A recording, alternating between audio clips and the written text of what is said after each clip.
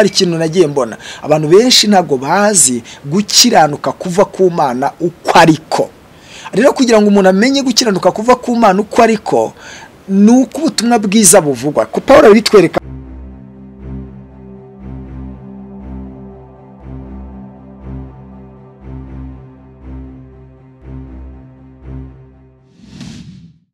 ndabasuhuje Yesu ashimwe cyane abasanzwe badukurikira bari mu rwanda cyangwa se abasanzwe badukurikira bari mu mahanga mu bihugu bitandukanye amerika aziya ndetse n'uburayi imana ibaho umugisha.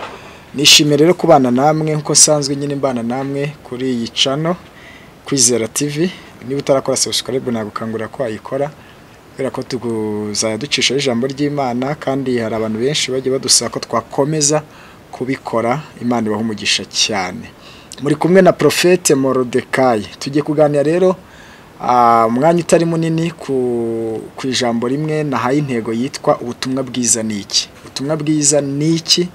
Ese ubundi iyo wumva abantu babwiriza abantu bagerageza uburyo bwose bavuga ibintu byo muri bibiliya ese koko niko bose baba bavuga ubutumwa bwiza?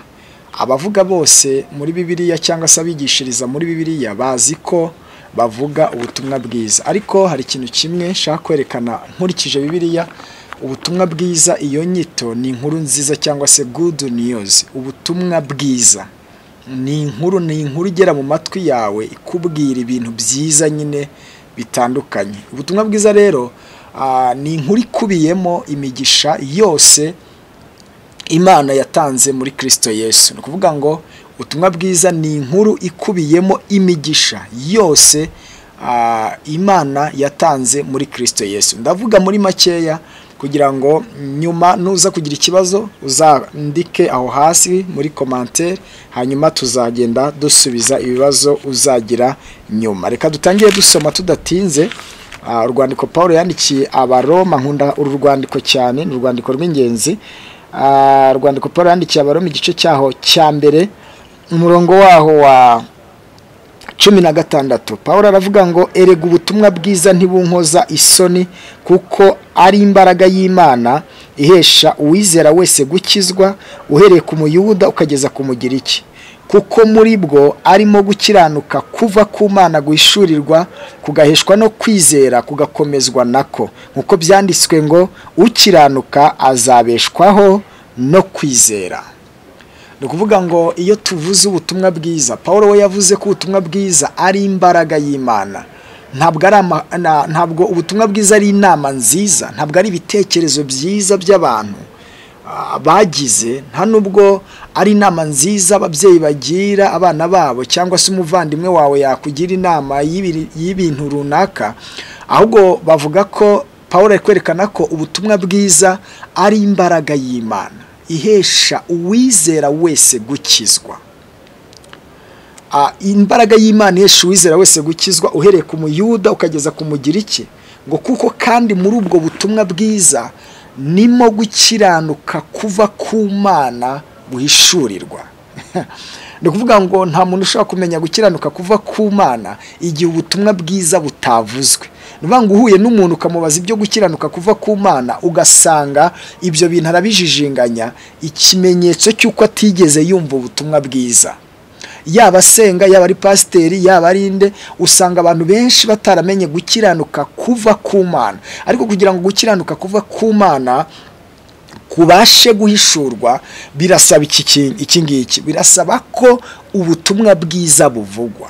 Niyo mpamvu turi mu kinyejana imana yashimye ko ubutumwa bwiza buhishurwa mu madini atandukanye. Kuko hari ikintu nagiye mbona abantu benshi ntabwo bazi gukiranuka kuva ku mana uko ariko rero kugira ngo umuntu amenye gukiranuka kuva ku mana uko ariko ni uko ubutumwa bwiza buvugwa. Ko paul bitwereka hano ngo erega ubutumwa bwiza ni imbaraga y'imana ihesha uwizera wese gukizwa.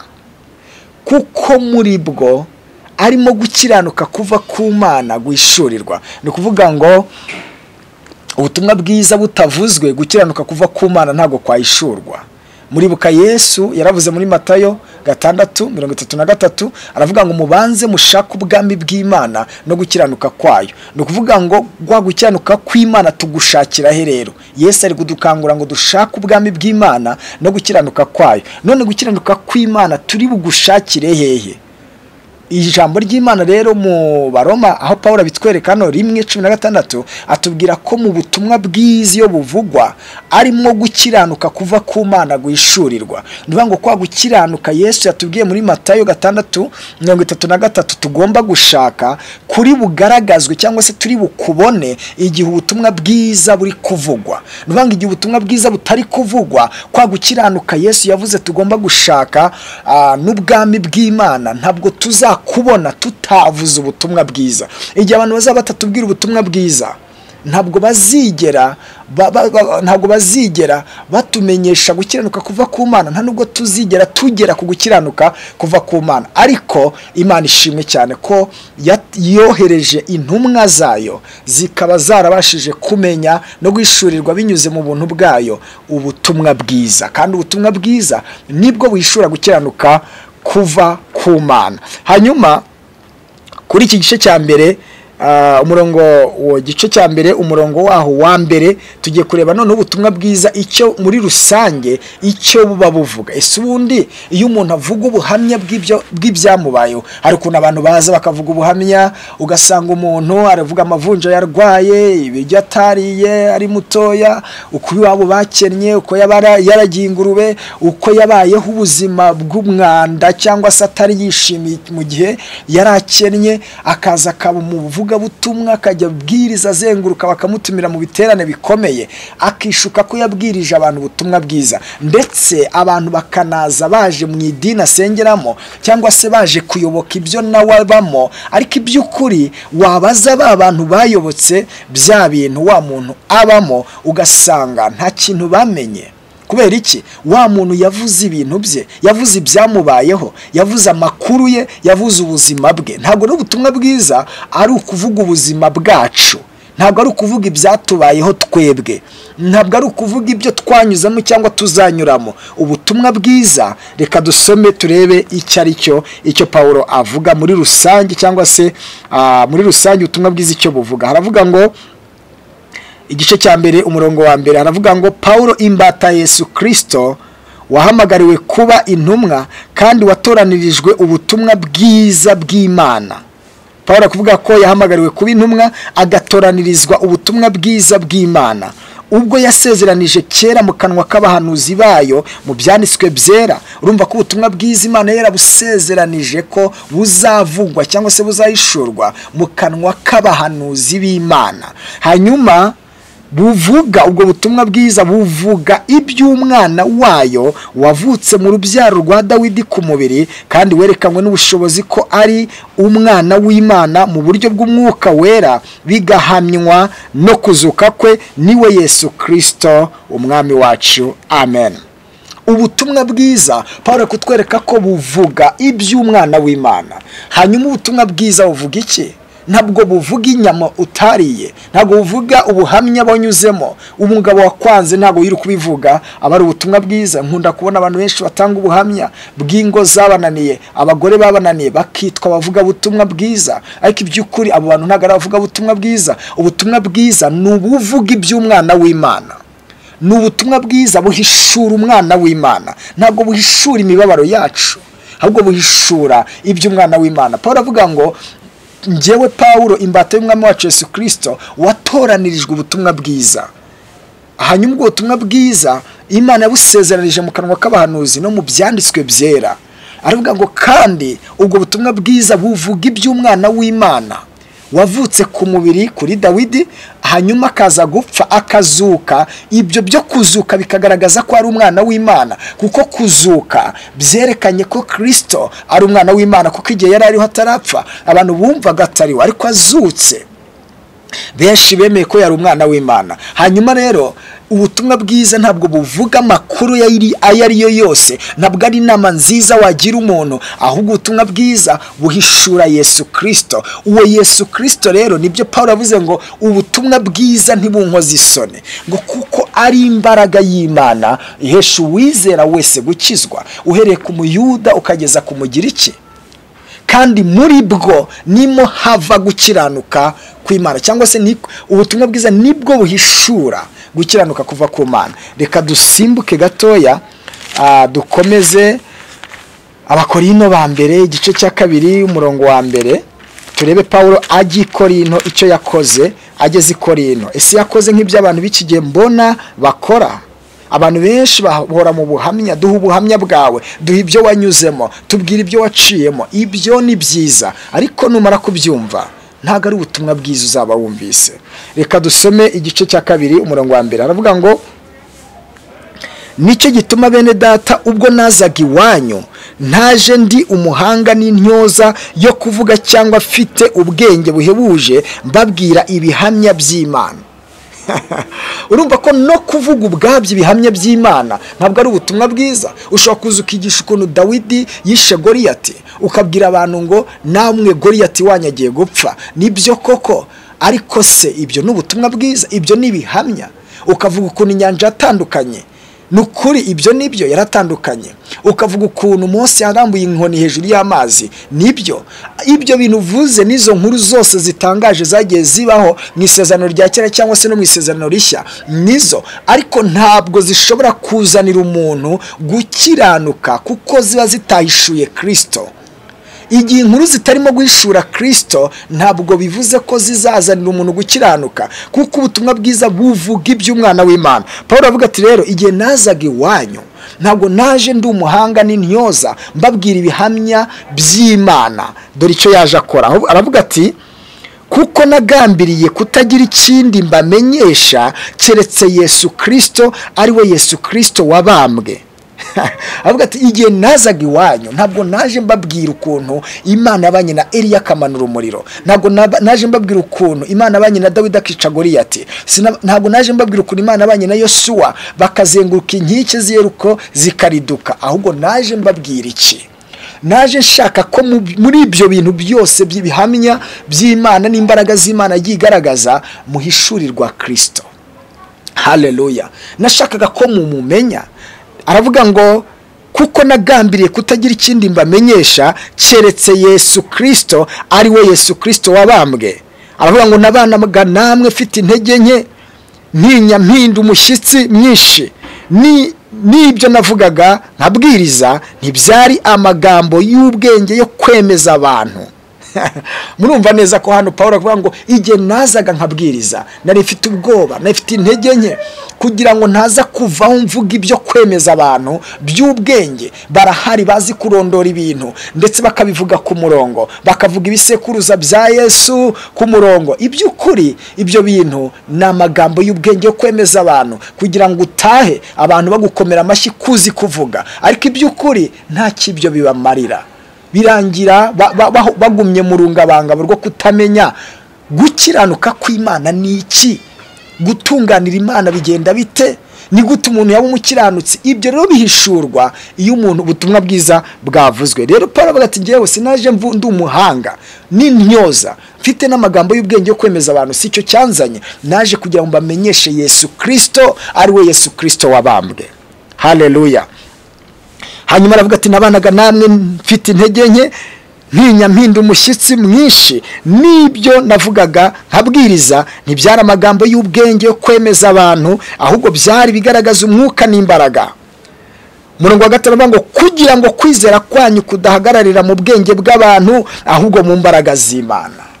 Hareruya kugira ngo kwizera igihe abantu bari kubwiriza iby'abantu igihe abantu bari kubwiriza ubwenge bw'abantu igihe abantu bari kubwiriza kuko bize gusa teoloji batayishura ubutumwa bwiza birangira kwizera kw'abantu gushingiye ku bwenge bw'abantu birangira kwizera kw'abantu gushingiye ku bumenyi bw'abantu budashingiye mu mbaraga z'imana. Paul avuga ati rero igihe nazaga iwanyu sinashakaga ko hari umuntu wagira ukwizera gushingiye mu bwenge bw'abantu. Ahubwo nashakaga ko ukwizera kwanyu gushingira mu mbaraga z'imana. Ese ni gute kwizera kwe kuzaba gushingiye mu mbaraga z'imana? N'igihe ubutumwa bwiza buzaba buhishura kirisito n'igihe umubwiriza butumwa pasiteri wawe kwigisha umuvugabutumwa wawe kwigisha umuhanuzi wawe aguhishurira yesu. Kuko mu guhishurirwa kirisito ni ho tumenya gukiranuka kuva ku mana. Kandi ikindi Yesu aravuga muri cumi na karindwi yohana umurongo wa gatatu uvuga ngo ubu ni bwo bugingo buhoraho ko bakumenya ko ari we mana y'ukuri yonyine bakamenya n'uwo watumye ari we Yesu kirisito bivuga ngo hatariho kumenya Yesu kirisito hatariho kumwishurirwa. Ese ni ukumwishurirwa gute? Ni ukumenya ibyo yakoze ku buzima bwawe. Imana umugisha tuzagaruka mu kindi kiganiro dukomeza kuri iyi nyigisho ijyanye n'ubutumwa bwiza. Ni iki? Ese bubyara iki? Ndongera ndabasuhuje bavandimwe imana ibaha umugisha cyane. Muri aho? Murakomeye ndizera ko mumeze neza mu mwami wacu yesu kirisito ubuntu n'amahoro no gufashwa n'umwuka wera bibane namwe mwese mu izina rya yesu. Muri kumwe na porofete morodekayi ya nk'uko nsanzwe mbagezaho kandi n'ubundi ijambo ry'imana ndifuza ko uyu munsi n'ubundi dukomeza kuri ya nyigisho twari twaganiriye ubushize ijyanye n'ubutumwa bwiza icyo ari cyo. Ese ubutumwa bwiza ni iki? Tugiye kuvuga rero igice cya kabiri ku bijyanye n'ubutumwa bwiza hanyuma turebe ese ubutumwa bwiza buzana iki. Iyo umuntu abwakiriye mu buzima bwe buzana iki? Twarabivuze mu magambo make twishingikirije ku cyanditswe twari twasomye mu waroma igice cya mbere umurongo wa cumi na gatandatu aho paul yavugaga ngo erega ubutumwa bwiza ntibunkoza isoni kuko ari imbaraga y'imana ihesha uwizera wese gukizwa. Uhereye ku muyuda ukageza ku mugiriki ko muri bwo arimo gukiranuka kuva ku mana guhishurirwa. So twerekanaga ko ubutumwa bwiza ari bwo buhishura gukiranuka kuva ku mana kandi nk'uko twabisomye ku gice cya mbere muri icyo gice cya mbere umurongo wa mbere aho paul avuga ko ubutumwa bwiza buvuga iby'umwana w'imana. Ibyo ni byo twe twavuze ubushize twerekana yuko ubutumwa bwiza atari ubuhamya bw'umuntu cyangwa se ibyiza byabaye ku muntu cyangwa ibibi yanyuzemo ahubwo ubutumwa bwiza buhishura yesu kirisito wavutse mu muryango wa dawidi mu buryo bw'umubiri hanyuma akerekanwa n'ubushobozi bw'imana ko ari umwana w'imana. Twanavuze ukuntu igihe paul yajyaga i korino atatinyutse kubabwira amagambo y'ibihamya by'imana cyangwa se amagambo y'ubwenge yo kubemeza ahubwo ngo yari afite ubwoba atinya ndetse ahinda umushyitsi anavuga yuko icyo yifuzaga kubamenyesha ndetse yanagambiriye mu mutima we ni ukubamenyesha yesu kirisito ari we yesu kirisito wabambwe. Aravuga ngo aravuga ngo kugira ngo kwizera kwabo kudahagarara mu bwenge bw'abantu ahubwo aravuga ngo kugira ngo guhagarare mu mbaraga z'imana.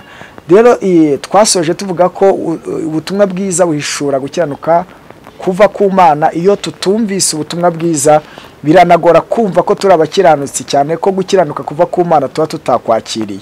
So uyu munsi rero tugiye kureba mu magambo makeya ese ubutumwa bwiza muri make bubyara iki iyo umuntu abwakiye? Ese ubutumwa bwiza nk'uko twabivuze ni kirisiti ubwe ni umurimo yakoze ariko se buzana iki mu buzima bw'umuntu?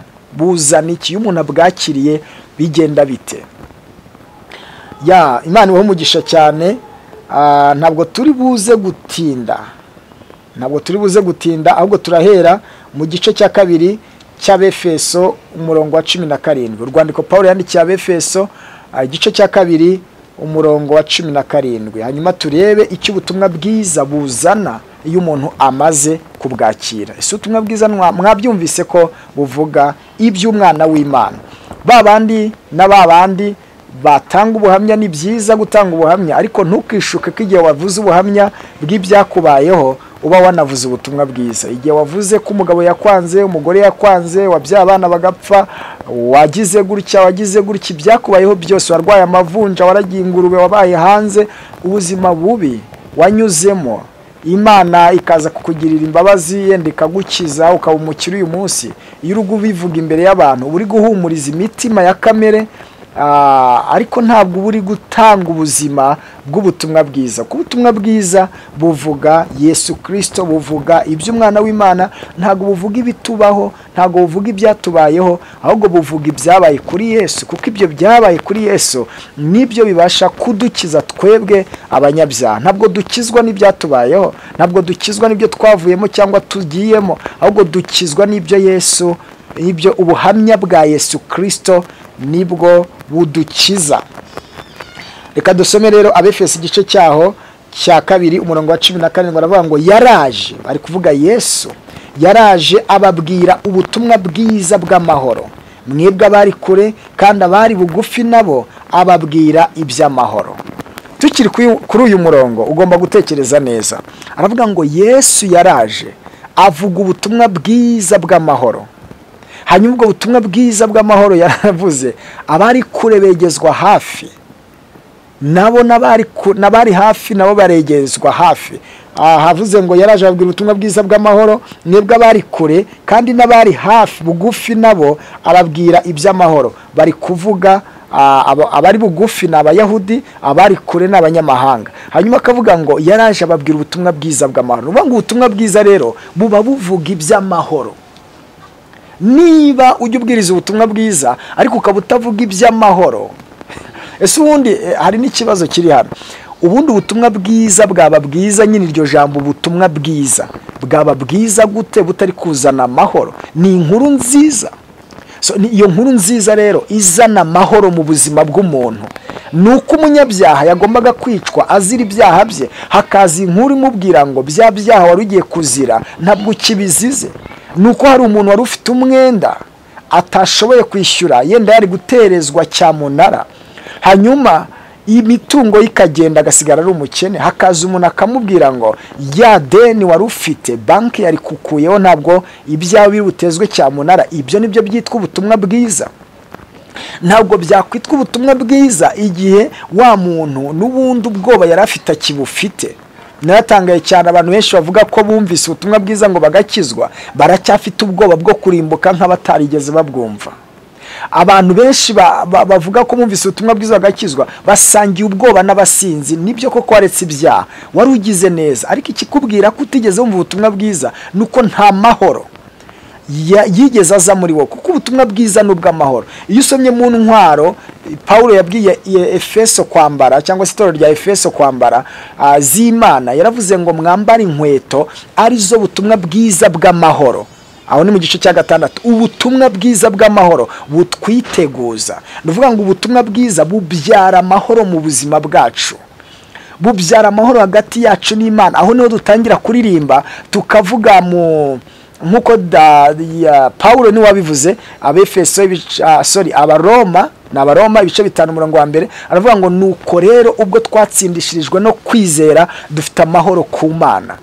Ni ukuvuga ngo ubutumwa bwiza butuzanira amahoro hagati yacu n'imana. Urusika ruri hagati yacu n'imana rukaba rukuweho. Hagati yacu n'imana tukumva turi mbese turi umwe. Tudatandukanye. Nta munsi umuntu wamaze kumva ubutumwa bwiza ikikubwira ko yabwumvise? Ni uko nta munsi yumva imana itari kumwe nawe ntabwo ibyaha byanjye ntabwo ibyaha byawe byatuma wumva imana itari kumwe nawe kubera iki? Ubutumwa bwiza bukubwira iby'amahoro. Burakubwira ngo nuko rero abari muri kirisito yesu nta teka bazacirwaho. Hareruya ni ukuvuga ngo rero bavandimwe icyo nashaka kubabwira ahangaha yaraje ababwira ubutumwa bwiza bw'amahoro. Nibutse inkuru imwe igihe yesu yavukaga abashumba babonye abamarayika bagize ubwoba. Kuko bumvaga abamarayika bagenderera abashumba abashumba mu bintu by'ibishegu by'ibitutsi ntabwo bumva ukuntu abamarayika yabagenderera. Hanyuma kubera ko ari igihe cy'ubutumwa bwiza cyari kigeze marayika arababwira ngo mwitinya. Ndababwira inkuru nziza cyangwa se ubutumwa bwiza bw'umunezero mwinshi uzaba ku bantu bose. Ni ukuvuga ngo Yesu akivuka abantu bumvise ubutumwa bwiza. Bumvise Yesu avutse ni we butumwa bwiza bwari buvutse. Igihe Yesu yavukaga ni bwo butumwa bwiza bwari buvutse. Hanyuma ubwo butumwa bwiza rero buvuga iby'amahoro. Kandi bugakeretinga bukarema umunezero mu buzima bw'uwabwakiriye. Aho wumva imana ari so ari data. Aho wumva imana itari kure yawe. Ahubwo wumva imana wowe na yo muri umwe. Hareruya utikanga ngo ubu Yesu agarutse najya he utikanga ngo uyu musenzi imana ntiyanyumva bitewe n'intege nke zanjye? Impamvu ni uko utigeze wumva ubutumwa bwiza. Ubuhe butumwa bwiza? Ubutumwa bwiza bw'ubuntu bw'imana. Rero ubutumwa bwiza buvuga iby'amahoro. Reka nkwereke nyuma y'uko ubwakiriye ikindi buzana mu buzima bwawe. Turasoma abefeso n'ubundi igice cya mbere. Abefeso igice cya mbere niyo mpamvu tuvuga dushize amanga. Ntabwo tuzatinya kuvuga ubutumwa bwiza ubutumwa bwiza ni bwiza. Ni gute waza uvuga ko intambara igiye kuba? Ni gute waza uvuga ko ibyago bigiye gutera? Kandi ukumva ko imana yagutumye kuvuga ubutumwa bwiza. Ntabwo ubwo ari ubutumwa bwiza ni amakuru n'ibyo wayishuri wari ukwiye kuba usengera ngo bikurweho. Ariko se niba wanabishuriwe dore ubutumwa bwiza buzana amahoro. Haleluya kuko kirisito mwibuke ko twavuze ko ah, ubutumwa bwiza buvuga kirisito nk'uko twabivuze mu cyigisho cya mbere. Ariko se niba ubutumwa bwiza buvuga kirisito kirisito ni iki ni umwami w'amahoro. Ntabwo ari umwami w'intambara. Ntabwo ari umwami w'inkota. Ntabwo ari umwami w'ibyago. Ntabwo ari umwami wo gupfusha no guhana abanyabyaha. We yaravuze ubwe ngo kuko umwana w'umuntu murabyibuka muri yohani igice cya mbere umurongo wa cumi na karindwi ngo ngo kuko imana itatumye umwana wayo mu isi gucira abari mu isi ho iteka ahubwo yamutumye kugira ngo abari mu isi bakizwe nawe umwizera ntabwo acirwaho iteka. Ntabwo yesu yaje kuduciraho iteka. Nawe yaravuze ngo ntawe nciraho iteka. Ijambo bumva niryo ribaciraho iteka. Hanyuma ni gute uza uri umuvugabutumwa ukumva yuko uje gucira abantu iteka? Kandi yesu nyiri ubutumwa bwiza webwe nawe ari nawe butumwa bwiza avuga ngo ntabwo imana yantumye gucira abari mu isi ho iteka. Rero hari akantu njya ntekereza nkavugana ariko kuki abantu batamenya ubutumwa bwiza? Ni gute abantu basenga bagakomeza kumva imana ari nk'umupolisi uhagaze hariya ushaka kubakubitira buri kosa ryose bakoze? Imana ni papa wawe. Azi bibi iravuga ngo ni n'umuririmbyi wabirimbye ndabyibutse ngo ni data wa twese mwiza azi intege nke zacu aradukuyakuya ngo aturinde satani. Haleluya udore umugore wafashwe asambana ahuye n'ubutumwa bwiza bwa yesu kirisito ari nawe yesu kirisito amategeko amuzana imbere ya yesu. Ageze imbere ya yesu yesu ntiyaciriye umugore urubanza ahubwo yandikishije hasi urutoki arababaza ngo utarakora icyaha? Aba ari we ubanza kumutera ibuye. Ndashaka kuvuga ijambo yesu yavuze muri ayo magambo yose. Aramubwira ngo mugore ni ba bandi bashaka kuguciraho iteka bari hehe? Avuga ngo simbizi bagiye. Noneho icyo nashaka kuvuga yesu aramubwira ngo genda nanjye singuciriyeho iteka. Bivuga ngo ubutumwa bwiza ntabwo buciraho iteka babwumva. Niyo mpamvu bigora abantu benshi kubwumva kuko burimo ubutunzi bwinshi burimo ubuzima bwinshi burimo imbabazi z'imana nyinshi burimo urukundo rurenze uko waruvuga. Burimo ubwiza burenze uko wabutekereza. Ubutumwa bwiza nakunze uko paul avuze ngo ni imbaraga y'imana ihesha uwizera wese gukizwa. Ni imbaraga y'imana izana gukiranuka kw'imana mu muntu wabwakiriye. Reka dusome rero abefeso nk'uko na yo mbivuze. Abefeso igice cyaho sori igice cyaho cya mbere. Abefeso igice cyaho cya mbere umurongo. Fesi igice cya mbere umurongo waho wa wa cumi na gatatu haravuga ngo ni we namwe mwiringiye mumaze kumva ijambo ry'ukuri ari ryo butumwa bwiza bw'agakiza kanyu. Kandi mumaze kwizera ni we wabashyizeho ikimenyetso ari cyo mwuka wera mwasezeranijwe. Uwo twahaweho ingwate yo kuzaragwa wa murage kugeza ubwo abo imana yarose izabacungura ubwiza bwayo bushimwe. Nashakaga hano ngo ni we namwe mwiringiye mumaze kumva ijambo ry'ukuri ari ryo butumwa bwiza bwanyu cyangwa se bw'agakiza kanyu. Ni ngo ubutumwa bwiza aba ba efeso bamaze kubwumva barabwizeye ni ubutumwa bwiza buvuga iby'agakiza. Iyo twize iby'agakiza nk'uko twagiye tubyiga ni ukubabarirwa ibyaha kandi igihe ubutumwa bwiza butaza bukubwira ko ibyaha byawe wabibabariwe. Niba uri n'umusinzi ibyaha byawe warabibabariwe. Ni uko waba uri kose kwa kundi abantu baguciraho iteka imana yo yatumye umwana wayo mu isi kugira ngo ye gucira abari mu isi ho iteka. Ahubwo yamutumye kugira ngo ukizwe nawe. Wikwemerera amajwi y'abantu batandukanye n'umutima wa kamere ugushuka ko waciriweho iteka. Ahubwo emera icyo imana yavuze kuri kirisito ntabwo yamutumye kugira ngo acire abari mu isi w'iteka rero ni we namwe mwiringiye mumaze kumva ijambo ry'ukuri ari ryo butumwa bwiza bw'agakiza kandi mumaze kwizera ni we wabashyizeho ikimenyetso ari cyo mwuka wera mwasezeranije uruvuga ngo nyuma y'uko twumvise ubutumwa bwiza buvuga ibya yesu kirisito ni bwo duhabwa umwuka wera? Kandi umwuka wera aza gukora iki? Aza gutuma tuba baraganwa na kirisito twizera mbese twemeranywa neza n'ijambo ry'imana ko turi abaraganwa na kirisito haravuga murongo wa cumi wa cumi na kane haravuga ngo uwo twahaweho ingwate yo kuzaragwa wa murage kugeza ubwo abo imana yarose izabacungura ubwiza bwayo bushimwe. Haleluya. Kugeza aho imana yarose izaducungura ku gucungurwa kuvugwa ni ugucungurwa kw'imibiri yacu. Hanyuma umwuka wera aza nyuma y'uko tumaze kumva ubutumwa bwiza. Naho bya bindi abantu buzura kuba watitira wavuga mu ndimi utaramenya ubutumwa bwiza ntabwo ari umwuka wera wahawe. Icyo wahawe ni ikindi kuko umwuka wera yuhawe aza gukonfirima kuri umwana w'imana. Ndetse paul abivuga mu gice cya munani cy'abaroma ngo umwuka twahawe si uw'ubwoba ngo udusubize mu bubata. Ahubwo twahawe umwuka udutakisha uva ku mana ngo aba data. Cyangwa se aba bivuze data ni umwuka w'imana utubwira ko turi abana tutari abagaragu tutari n'abakozi ahubwo turi abana. Ni ukuvuga ngo umwuka w'imana aduhishurira ko turi abana imana na yo ari data. Ntabwo kandi niba uvuga ko uri umwana ugomba kuba ufite n'ubuzima bwa so muri wowe. Ntabwo ugomba gutekereza ngo mbese izina ryanjye ryanditse mu gitabo umwami Yesu nifuza kubimishurira ibyo ngibyo uvuga n'ibyo utekereza ni uko utigeze uba umwana iyo wabaye umwana uvukana ubuzima bwa so. Uvukana ubuzima bw'ababyeyi. Ugira adiyene za papa wawe. Hanyuma rero ubutumwa bwiza buguhishurira kuri umwana. Kuko igihe yesu azuka ni bwo yavugaga ngo ndi hano n'abana n'abana imana yampaye.